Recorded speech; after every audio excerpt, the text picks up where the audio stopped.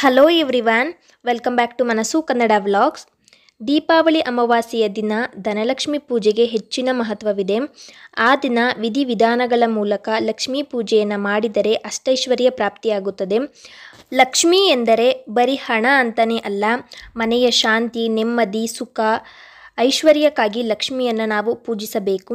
ಆದರೆ ಈ ದೀಪಾವಳಿ ಅಮಾವಾಸ್ಯೆಯಲ್ಲಿ ಧನ ಪ್ರಾಪ್ತಿಗಾಗಿ ಹಣದ ಸ್ವರೂಪದಲ್ಲೇ ನಾವು ತಾಯಿ ಲಕ್ಷ್ಮೀ ದೇವಿಯನ್ನು ಪೂಜಿಸುತ್ತೀವಿ. ಮನೆಯಲ್ಲಿ ಪೂಜೆ ಮಾಡಬೇಕು ಅಂತಲೇ ಅಲ್ಲ, ಅಂಗಡಿಗಳಲ್ಲಿ, ಆಫೀಸ್ಗಳಲ್ಲಿ ನೀವು ವ್ಯಾಪಾರ ಮಾಡುವ, ಬಿಸ್ನೆಸ್ ಮಾಡುವ ಜಾಗದಲ್ಲಿ ಈ ಧನಲಕ್ಷ್ಮಿ ಪೂಜೆಯನ್ನು ಆ ದಿನ ಮಾಡ್ತಾರೆ. ಇವತ್ತಿನ ವಿಡಿಯೋದಲ್ಲಿ ದೀಪಾವಳಿ ಅಮಾವಾಸ್ಯೆಯಲ್ಲಿ ಲಕ್ಷ್ಮೀ ಪೂಜೆಯ ವಿಧಾನ ಮತ್ತು ಆ ದಿನ ಸೂರ್ಯಗ್ರಹಣ ಇರುವುದರಿಂದ ಯಾವ ದಿನ ಯಾವ ಸಮಯದಲ್ಲಿ ನಾವು ಲಕ್ಷ್ಮೀ ಪೂಜೆಯನ್ನು ಮಾಡಬೇಕು ಅನ್ನೋದನ್ನು ಕೂಡ ತಿಳಿಸ್ಕೊಡ್ತಾ ಇದ್ದೀನಿ. ಅದಕ್ಕೂ ಮೊದಲು ಪ್ಲೀಸ್ ನನ್ನ ಚಾನಲ್ಗೆ ಸಬ್ಸ್ಕ್ರೈಬ್ ಮಾಡ್ಕೊಳ್ಳಿ. ಹಾಗೆ ಪಕ್ಕದಲ್ಲಿರುವ ಬೆಲ್ಲೈಕೋನ ಪ್ಲೀಸ್ ತಪ್ಪದೆ ಕ್ಲಿಕ್ ಮಾಡಿ. ಅಕ್ಟೋಬರ್ ಇಪ್ಪತ್ತೈದನೇ ತಾರೀಕು ಮಂಗಳವಾರದ ದಿನ ದೀಪಾವಳಿ ಅಮಾವಾಸ್ಯೆ ಬಂದಿರೋದು. ಆದರೆ ಇಪ್ಪತ್ತೈದನೇ ತಾರೀಕು ಸೂರ್ಯಗ್ರಹಣ ಮಧ್ಯಾಹ್ನ ಎರಡು ಗಂಟೆ ಇಪ್ಪತ್ತೆಂಟು ನಿಮಿಷದಿಂದ ಪ್ರಾರಂಭವಾಗಿ ಸಂಜೆ ಆರು ಗಂಟೆ ಮೂವತ್ತು ನಿಮಿಷದವರೆಗೂ ಕೂಡ ಇರುತ್ತದೆ. ಹಾಗಾಗಿ ನಾವು ಅಕ್ಟೋಬರ್ ಇಪ್ಪತ್ನಾಲ್ಕನೇ ತಾರೀಕು ಸಂಜೆ ಸಮಯದಲ್ಲಿ ನಾವು ಲಕ್ಷ್ಮೀ ಕಳಸವನ್ನು ಸ್ಥಾಪನೆ ಮಾಡಿ ಪೂಜೆಯನ್ನು ಮಾಡಬೇಕು. ಯಾಕೆಂದರೆ ಇಪ್ಪತ್ತೈದನೇ ತಾರೀಕು ಸಂಜೆ ನಾಲ್ಕು ಗಂಟೆ ಹದಿನೆಂಟು ನಿಮಿಷಕ್ಕೇನೆ ಅಮಾವಾಸ್ಯೆಯ ತಿಥಿಯು ಮುಕ್ತಾಯವಾಗುತ್ತೆ. ಹಾಗಾಗಿ ಅಮಾವಾಸ್ಯೆ ತಿಥಿ ಇರಬೇಕಾದ್ರೇ ನಾವು ಮನೆಯಲ್ಲಿ ಲಕ್ಷ್ಮೀ ಪೂಜೆಯನ್ನು ಮಾಡೋದೇ ಶುಭ.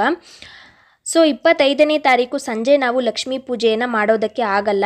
ಹಾಗಾಗಿ ಇಪ್ಪತ್ನಾಲ್ಕನೇ ತಾರೀಕು ಸಂಜೆನೇ ಲಕ್ಷ್ಮೀ ಪೂಜೆಯನ್ನು ಮಾಡಿ.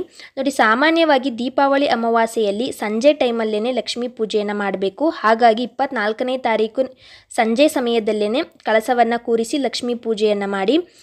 ಇನ್ನು ಇಪ್ಪತ್ನಾಲ್ಕನೇ ತಾರೀಕು, ಯಾವುದೇ ಕಾರಣಕ್ಕೂ ನಮಗೆ ಲಕ್ಷ್ಮೀ ಪೂಜೆಯನ್ನು ಮಾಡೋದಕ್ಕೆ ಆ ದಿನ ಆಗೋದೇ ಇಲ್ಲ ಅನ್ನುವವರು, ಇಪ್ಪತ್ತೈದನೇ ತಾರೀಕು ಮಂಗಳವಾರದ ದಿನ ಬೆಳಗ್ಗೆ ಬ್ರಾಹ್ಮಿ ಮುಹೂರ್ತದಲ್ಲಿ ಲಕ್ಷ್ಮೀ ಪೂಜೆಯನ್ನು ಮಾಡಿ, ಆ ದಿನದ ಬ್ರಾಹ್ಮಿ ಸಮಯ ಬಂದು ಬೆಳಗಿನ ಜಾವ ನಾಲ್ಕು ಗಂಟೆ ಐವತ್ತೈದು ನಿಮಿಷದಿಂದ ಐದು ಗಂಟೆ ನಲವತ್ತೈದು ನಿಮಿಷದವರೆಗೂ ಕೂಡ ಬ್ರಾಹ್ಮಿ ಮುಹೂರ್ತ ಇದೆ. ಆ ಸಮಯದಲ್ಲಿ ನೀವು ಲಕ್ಷ್ಮಿಯನ್ನು ಕೂರಿಸಿ ಪೂಜೆಯನ್ನು ಮಾಡಿ, ಆ ಸಮಯದಲ್ಲೂ ಆಗಲಿಲ್ಲ ಅಂದರೆ ಆ ದಿನ ಬೆಳಗ್ಗೆ ಒಂಬತ್ತುವರೆ ಒಳಗಡೆ ನೀವು ಲಕ್ಷ್ಮೀ ಪೂಜೆಯನ್ನು ಮಾಡಿ ಇನ್ನು ಇಪ್ಪತ್ನಾಲ್ಕನೇ ತಾರೀಕು ಸೋಮವಾರದ ದಿನ ಸಂಜೆ ಯಾವ ಸಮಯದಲ್ಲಿ ಲಕ್ಷ್ಮೀ ಪೂಜೆಯನ್ನು ಮಾಡಬೇಕು ಅನ್ನೋದಾದರೆ, ಆ ದಿನ ಸಂಜೆ ಆರು ಗಂಟೆಯಿಂದ ಆರು ಗಂಟೆ ಇಪ್ಪತ್ತು ನಿಮಿಷದವರೆಗೂ ಕೂಡ ಒಂದು ಶುಭ ಲಗ್ನವಿದೆ.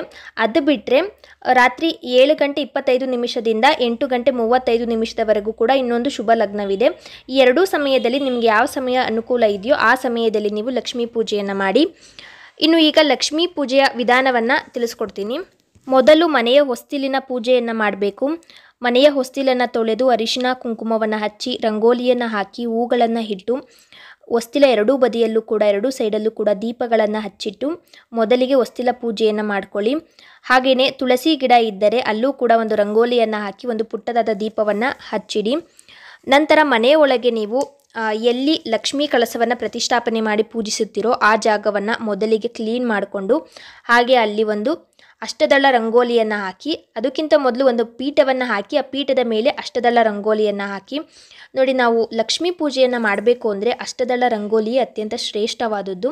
ಹಾಗಾಗಿ ಅಷ್ಟದಳ ಪದ್ಮ ರಂಗೋಲಿಯನ್ನು ಹಾಕಿ, ರಂಗೋಲಿ ಮಧ್ಯಭಾಗದಲ್ಲಿ ಅರಿಶಿನ ಕುಂಕುಮ ಮತ್ತು ಅಕ್ಷತೆಯನ್ನು ಹಾಕಿ, ಮತ್ತು ಒಂದು ತಟ್ಟೆಯಲ್ಲಿ ನಿಮ್ಮ ಕೈಯ ಐದು ಇಡಿಯಷ್ಟು ಅಕ್ಕಿಯನ್ನು ತಗೊಂಡು ಆ ತಟ್ಟೆಯಲ್ಲಿ ಹರಡಿ, ನೀವು ತಟ್ಟೆ ಯೂಸ್ ಮಾಡಲಿಲ್ಲ ಅಂದರೆ ಬಾಳೆ ಎಲೆನೂ ಕೂಡ ಯೂಸ್ ಮಾಡ್ಬೋದು.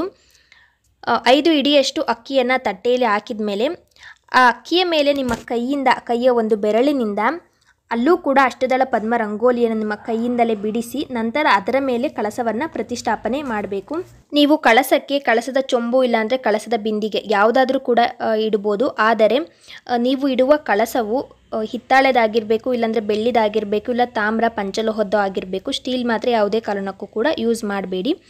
ನೀವೇನು ಕಳಸಕ್ಕೆ, ಕಳಸದ ಚೊಂಬನ್ನು ಇಟ್ಟಿರ್ತೀರಾ, ಆ ಕಳಸದ ಚೊಂಬಿಗೂ ಕೂಡ ಅರಿಶಿನ ಕುಂಕುಮವನ್ನು ಹಚ್ಚಬೇಕು. ಹಾಗೆ ಕಳಸದಲ್ಲಿ ಮುಕ್ಕಾಲು ಭಾಗದಷ್ಟು ಶುದ್ಧವಾದ ನೀರನ್ನು ಹಾಕಿ, ಮತ್ತು ಕಳಸದ ನೀರಿಗೆ ಅರಿಶಿನ, ಕುಂಕುಮ, ಅಕ್ಷತೆ, ಒಂದು ಹೂವನ್ನು ಹಾಕಿ, ಜೊತೆಗೆ ಒಂದು ಕಾಯಿನನ್ನು ಹಾಕಿ, ಬೆಳ್ಳಿದಿದ್ರೆ ಬೆಳ್ಳಿದಾಕಿ ಇಲ್ಲಾಂದರೆ ಮಾಮೂಲಿ ಒಂದು ರೂಪಾಯಿ ಕಾಯಿನನ್ನೇ ಹಾಕಿ ಹಾಗೆಯೇ ಒಂದು ಬೆಳ್ಳಿದ್ದು ಇಲ್ಲಾಂದರೆ ಒಂದು ಚಿನ್ನದ್ದು, ಒಂದು ಉಂಗುರವನ್ನು ಕಳಸಕ್ಕೆ ಹಾಕಿ, ಉಂಗುರ ಅಂತಲೇ ಅಲ್ಲ, ಓಲೆ ಕೂಡ ಹಾಕ್ಬೋದು, ಒಂದು ಚಿನ್ನದ್ದು, ಯಾವುದಾದ್ರೂ ಒಂದು. ಪುಟ್ಟದಾದ ಒಂದು ಚಿನ್ನದ ಒಡವೆಯನ್ನು ಆ ಕಳಸದ ನೀರಿಗೆ ಹಾಕಿ ಹಾಗೆಯೇ ಆ ಕಳಸಕ್ಕೆ ಮೂರು ವಿಲೇದೆಲೆ ಇಡಬೇಕು ಹಾಗೆಯೇ ಎರಡು ಮಾವಿಲೆ, ಮಾವಿನೆಲೆ ಇಡಬೇಕು. ನಿಮಗೆ ಮಾವಿನೆಲೆ ಸಿಗಲಿಲ್ಲ ಅಂದರೆ ವಿಲೇದೆಲೆನೇ ಇಟ್ಟು ಕಳಸವನ್ನು ಪ್ರತಿಷ್ಠಾಪನೆ ಮಾಡಿ. ಆದರೆ ಹಬ್ಬಗಳಲ್ಲಿ ಮಾವಿನೆಲೆ ಮತ್ತು ಈ ವಿಲೇದಲ್ಲಿ ಎರಡನ್ನೂ ಕೂಡ ಸೇರಿಸಿ ಕಳಸಕ್ಕೆ ಇಡೋದು ತುಂಬಾ ಒಳ್ಳೆಯದು ನಂತರ ಒಂದು ತೆಂಗಿನಕಾಯಿಗೆ ಅರಿಶಿನ ಕುಂಕುಮವನ್ನು ಹಚ್ಚಿ ಅದನ್ನು ಕಳಸಕ್ಕೆ ಇಡಬೇಕು. ನೋಡಿ ನಾವು ಕಳಸಕ್ಕೆ ಇಡುವ ತೆಂಗಿನಕಾಯಿಯಲ್ಲಿ ನೀರು ಇರಬೇಕು. ನೀರು ಇರೋ ಅಂಥ ತೆಂಗಿನಕಾಯಿಯನ್ನೇ ನಾವು ಕಳಸಕ್ಕೆ ಇಡಬೇಕು.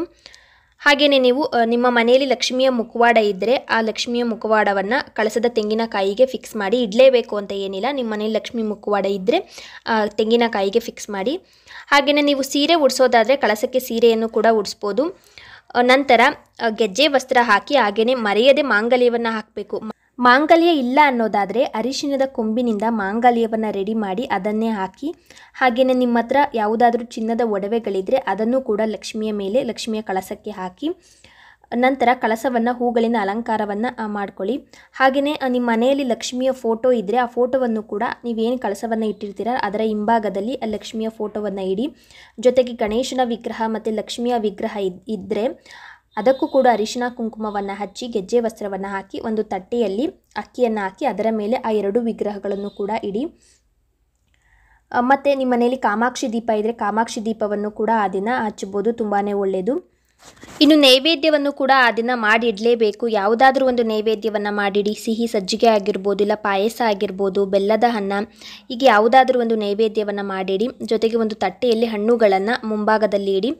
ಹಾಗೆಯೇ ಮರಿದಲೆ ನಾವು ಲಕ್ಷ್ಮೀ ದೇವಿಗೆ ಮಡಿಲಕ್ಕಿಯನ್ನು ಕಟ್ಟಬೇಕು ಒಂದು ತಟ್ಟೆ ತಗೊಂಡು ಆ ತಟ್ಟೆಯಲ್ಲಿ ಒಂದು ಪಾವಷ್ಟು ಅಕ್ಕಿ ಹಾಕಿ, ನಂತರ ಒಂದು ಬ್ಲೌಸ್ ಪೀಸ್ ಇಡಿ ಇಲ್ಲ ಅಂದರೆ ನೀವು ಸೀರೆನಾದರೂ ಇಡ್ಬೋದು. ಹಾಗೆಯೇ ಅರಿಶಿನ ಕುಂಕುಮದ ಪ್ಯಾಕೆಟು ಮತ್ತು ಮರಿದಲೆ ಬಳೆ ಇಡಬೇಕು ವಿಲಿಯದಲೆ, ಅಡಿಕೆ, ಬಾಳೆಹಣ್ಣು ಮತ್ತು ದಕ್ಷಿಣೆ.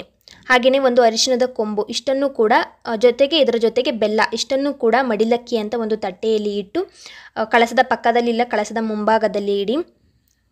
ಹಾಗೆಯೇ ನಿಮ್ಮಲ್ಲಿ ಏನಾದರೂ ಪರ್ಸ್ನಲ್ ಡಾಕ್ಯುಮೆಂಟ್ಸ್ ಇದ್ದರೆ ಅದನ್ನು ಕೂಡ ಆ ದಿನ ಲಕ್ಷ್ಮಿಯ ಹತ್ತಿರ ಇಟ್ಟು ಪೂಜೆ ಮಾಡೋದು ತುಂಬ ಅಂದರೆ ತುಂಬಾ ಒಳ್ಳೆಯದು ಇದೆಷ್ಟನ್ನು ಕೂಡ ರೆಡಿ ಮಾಡಿ ನಂತರ ದೀಪವನ್ನು ಹಚ್ಚಿ ಕಾಮಾಕ್ಷಿ ದೀಪ ಇಟ್ಟಿದ್ರೆ ಕಾಮಾಕ್ಷಿ ದೀಪವನ್ನು ಹಚ್ಚಿ ಮೊದಲಿಗೆ ಗಣೇಶನ ಪೂಜೆಯನ್ನು ಮಾಡಿ ನಂತರ ಲಕ್ಷ್ಮೀ ಪೂಜೆಯನ್ನು ಮಾಡಿ, ನಂತರ ಲಕ್ಷ್ಮಿ ಅಷ್ಟೋತ್ತರವನ್ನು ಮಾಡಬೇಕು. ಯಾವ ರೀತಿಯಾಗಿ ಅಂದರೆ ಒಂದು ತಟ್ಟೆ ತಗೊಳ್ಳಿ. ಸ್ಟೀಲ್ ಬಿಟ್ಟು ಬೇರೆ ಯಾವುದಾದ್ರೂ ಒಂದು ತಟ್ಟೆಯನ್ನು ತಗೊಂಡು, ಆ ತಟ್ಟೆಯಲ್ಲಿ ಲಕ್ಷ್ಮಿ ವಿಗ್ರಹವನ್ನು ಇಟ್ಟು, ಅರಿಶಿಣ, ಕುಂಕುಮ ಮತ್ತು ಗೆಜ್ಜೆ ವಸ್ತ್ರವನ್ನು ಲಕ್ಷ್ಮಿಯ ವಿಗ್ರಹಕ್ಕೆ ಹಾಕಿ, ಲಕ್ಷ್ಮಿ ಅಷ್ಟೋತ್ತರವನ್ನು ಹೇಳಿಕೊಂಡು ಲಕ್ಷ್ಮಿಗೆ ಕುಂಕುಮ ಅರ್ಚನೆಯನ್ನು ಮಾಡಬೇಕು. ಲಕ್ಷ್ಮಿಗೆ ಕುಂಕುಮ ಅರ್ಚನೆ ಮಾಡೋದು ತುಂಬ ಅಂದರೆ ತುಂಬಾ ಒಳ್ಳೆಯದು ಮೊದಲು ಕೈಯಲ್ಲಿ ಸ್ವಲ್ಪ ಅರಿಶಿಣವನ್ನು ತಗೊಂಡು ಲಕ್ಷ್ಮಿಯ ವಿಗ್ರಹದ ಹತ್ತಿರ ಹಾಕಿ, ನಂತರ ಲಕ್ಷ್ಮಿಯ ಅಷ್ಟೋತ್ತರವನ್ನು ಹೇಳಿಕೊಂಡು ಕುಂಕುಮವನ್ನು ಲಕ್ಷ್ಮಿಯ ವಿಗ್ರಹದ ಹತ್ತಿರ ಹಾಕಬೇಕು. ಕುಂಕುಮಾರ್ಚನೆ ಮುಗಿದ ನಂತರ ಪೂಜೆಯನ್ನು ಮಾಡಿ, ನಂತರ ನೋಡಿ ಮೊದಲೇ ನೀವು ಪೂಜೆ ಮಾಡೋದಕ್ಕಿಂತ ಮೊದಲೇ ನೀವು ಒಂದು ಕಾಯಿಯನ್ನು ತಗೊಂಡು ಸಂಕಲ್ಪದ ಕಾಯಿ ಅಂತ ಲಕ್ಷ್ಮಿಯ ಪಕ್ಕದಲ್ಲಿ ಇಟ್ಕೊಂಡಿರಿ. ಕುಂಕುಮಾರ್ಚನೆ ಮತ್ತು ಲಕ್ಷ್ಮಿ ಪೂಜೆ ಮುಗಿದ ನಂತರ ನೀವು ಸಂಕಲ್ಪ ಮಾಡ್ಕೊಂಡಿರೋ ಆ ತೆಂಗಿನಕಾಯಿಯನ್ನು ಒಡೆದಿಡಬೇಕು. ಮತ್ತು ಆ ತೀರ್ಥವನ್ನು ನೀವೇನು ಪ್ರಸಾದ ಮಾಡ್ಕೊಂಡಿರ್ತೀರೋ ಅದರ ಮೇಲೆ ತೀರ್ಥ ಪ್ರೋಕ್ಷಣೆ ಮಾಡಬೇಕು. ಆಮೇಲೆ ಧೂಪ ಹಚ್ಚಬೇಕು ನಂತರ ಕೊನೆಯಲ್ಲಿ ಮಹಾಮಂಗಳಾರತಿಯನ್ನು ಲಕ್ಷ್ಮೀ ದೇವಿಗೆ ಮಾಡಬೇಕು. ನಂತರ ನಿಮ್ಮ ಇಷ್ಟಾರ್ಥಗಳನ್ನೆಲ್ಲ ಹೇಳಿಕೊಂಡು ಲಕ್ಷ್ಮಿಯ ಮುಂದೆ ಪ್ರಾರ್ಥನೆಯನ್ನು ಮಾಡಿ, ನಂತರ ಕೊನೆಯಲ್ಲಿ ಲಕ್ಷ್ಮೀ ದೇವಿಗೆ ಕೆಂಪಾರತಿಯನ್ನು ಮಾಡಿ, ಮೊದಲು ಗಣಪತಿಗೆ ಕೆಂಪಾರತಿಯನ್ನು ಮಾಡಿ, ನಂತರ ಲಕ್ಷ್ಮೀ ದೇವಿಗೆ ಕೆಂಪಾರತಿಯನ್ನು ಮಾಡಬೇಕು. ಆ ಕೆಂಪಾರತಿ ನೀರನ್ನು ಯಾರೂ ತುಳಿಯದೇ ಇರೋ ಜಾಗದಲ್ಲಿ ಹಾಕಿಬಿಡಿ, ಇಲ್ಲ ಯಾವುದಾದ್ರೂ ಗಿಡಗಳ ಹತ್ತಿರ ಹಾಕಿ. ಮತ್ತು ಇನ್ನೊಂದು ಮುಖ್ಯವಾದದ್ದು ಅಂದರೆ ನೀವು ಲಕ್ಷ್ಮಿಗೆ ಕುಂಕುಮಾರ್ಚನೆಯನ್ನು ಮಾಡಿರ್ತೀರಲ್ಲ, ಏನು ಲಕ್ಷ್ಮೀ ವಿಗ್ರಹದ ಹತ್ತಿರ ಕುಂಕುಮವನ್ನು, ಅಷ್ಟೋತ್ತರವನ್ನು ಹೇಳ್ಕೊಂಡು ಕುಂಕುಮವನ್ನು ಹಾಕಿರ್ತೀರಲ್ಲ, ಆ ಕುಂಕುಮವನ್ನು ತೆಗೆದು ಒಂದು ಕಡೆ ಒಂದು ಬಾಕ್ಸಲ್ಲಿ ಹಾಕಿಟ್ಕೊಂಡಿರಿ, ಅದು ತುಂಬಾ ಒಳ್ಳೆಯದು ಅದನ್ನು ಪ್ರತಿನಿತ್ಯ ಕೂಡ ನಿಮ್ಮ ಮನೆಯಲ್ಲಿರೋ ಎಲ್ಲರೂ ಕೂಡ ಆ ಕುಂಕುಮವನ್ನು ಹಣೆಗೆ ಹಚ್ಕೊಳ್ಳಿ. ಇದಿಷ್ಟು ದೀಪಾವಳಿ ಅಮಾವಾಸ್ಯೆಯಲ್ಲಿ ಲಕ್ಷ್ಮೀ ಪೂಜೆಯನ್ನು, ಧನಲಕ್ಷ್ಮಿ ಪೂಜೆಯನ್ನು ಮಾಡುವ ವಿಧಾನ. ನನ್ನ ಮುಂದಿನ ವಿಡಿಯೋಸಲ್ಲಿ ನಾನು ಲಕ್ಷ್ಮೀ ಕಳಸವನ್ನು ಹೇಗೆ ಕದಲಿಸಬೇಕು ಹಾಗೆಯೇ ಇನ್ನೂ ಹೆಚ್ಚೆಚ್ಚು ವಿಷಯಗಳನ್ನು ಈ ದೀಪಾವಳಿಯ ಹಬ್ಬದ ಬಗ್ಗೆ ತಿಳಿಸ್ಕೊಡ್ತಾ ಹೋಗ್ತೀನಿ. ಇವತ್ತಿನ ಈ ವಿಡಿಯೋ ಯಾರಿಗೆಲ್ಲ ಇಷ್ಟ ಆಗಿದೆಯೋ, ಅವರು ಒಂದು ಲೈಕ್ ಕೊಡಿ, ಕಮೆಂಟ್ ಮಾಡಿ, ಹಾಗೆ ನಿಮ್ಮ ಫ್ರೆಂಡ್ಸ್ ಜೊತೆ ಈ ವಿಡಿಯೋನ ಶೇರ್ ಮಾಡಿ ಹಾಗೆಯೇ ನನ್ನ ಚಾನಲ್ಗೆ ಯಾವಾಗಲೂ ಸಪೋರ್ಟ್ ಮಾಡ್ತಾ ಇರಿ.